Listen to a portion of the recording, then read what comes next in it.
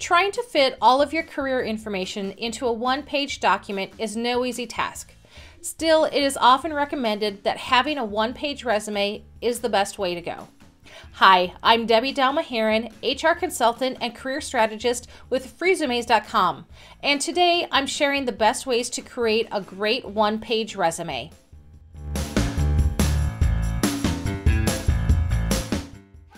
So let's start with answering a question. Should a resume only be one page long? This is not a black and white question. In short, it's best to submit a one page resume if you are in the beginning or middle of your career. But if you are a senior candidate with 10 or more years of relevant experience, you can easily have a two page resume. If you are applying to a job abroad and get asked to submit a CV, it's okay to go beyond that single page. Now let's dig into the tips and tricks to fitting your resume on one page. First, try to adjust your page margins and layout.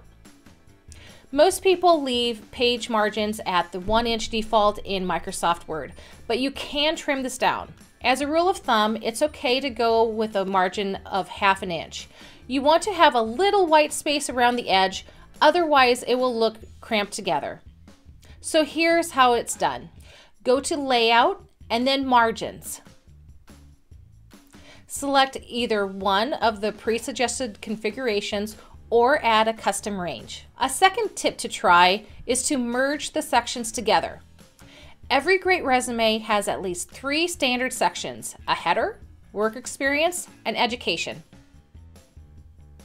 You may have some additional ones, such as skills, accolades, resume objective, or professional bio, and so forth. While all of them can play a role in hiring, they do take up valuable space. Aim for three or four distinct sections and combine the rest. For example, you could combine your resume objective and professional bio or add accolades to the work experience section. You might want to condense the information. Always look at ways to combine some of your information that may be important but it doesn't have a direct bearing on the job that you are applying for. For example, instead of listing each qualification or achievement on a single line, condense them together and leave off any early or lower level qualifications that an employer may not be interested in knowing about. You can also skip your address and simply include your name and contact number, email address, and LinkedIn profile. Check if you repeat yourself. Don't describe every job duty you had at every job listed. Instead, focus on listing one to two main accomplishments for each entry and sprinkle in some relevant hard and soft skills. Take a look at our customer service resume example. You can write a one line description and then provide a quick bullet point list of accomplishments and skills. So it looks like this.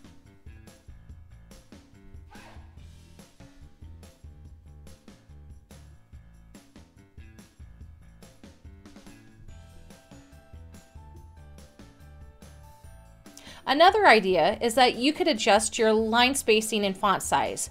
Recruiters want to see resumes that are easy on the eye, so good line spacing is important. If you are using Microsoft Word to create your resume, then you can change the line spacing between paragraphs and different sections. As far as font size, the smallest we recommend you going with is a font size 10 point. However, it would be wise to leave your name at 14 point font if not larger. A question that often comes up is if it's time to trim your bullet points. Think of your bullet points as mini headlines. You want to avoid complex, lengthy words unless they are actual keywords. Keep your bullet point to one line to avoid wasting space. Aim for about the same bullet point length to make your resume look neater. Make your bullet points symmetrical by starting with a verb and keep your bullet point related to the position you are applying for. Here's how we incorporated all of these tips in our hospitality resume example.